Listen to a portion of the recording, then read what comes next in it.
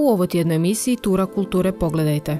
Središnja nacionalna kuća, Hrvatsko narodno kazalište u Zagrebu, predstavilo je novu sezonu 2016-2017.